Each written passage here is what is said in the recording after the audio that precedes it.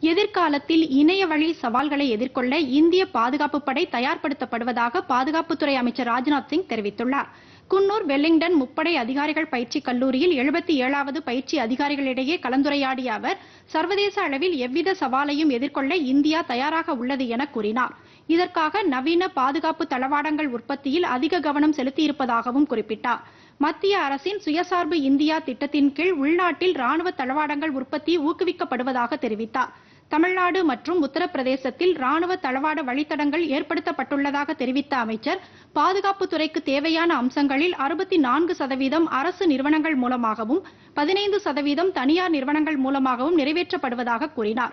இந்திய சீன எல்லைப் பகுதியில் நிலவும் சூழலை மத்திய அரசு உன்னிப்பாக கவனித்து வருவதாகவும் எவ்வித சூழ்நிலையையும் எதிர்கொள்ளும் அளவுக்கு நமது பாதுகாப்பு படை தயாராக இருப்பதாகவும் கூறினார். ஆப்கானிஸ்தானில் நிலவும் சூழல் குறித்து பிரதமர் நரேந்திர மோடி அதிக கவனம் செலுத்தி வருவதாகவும் அமைச்சர் குறிப்பிட்டார்.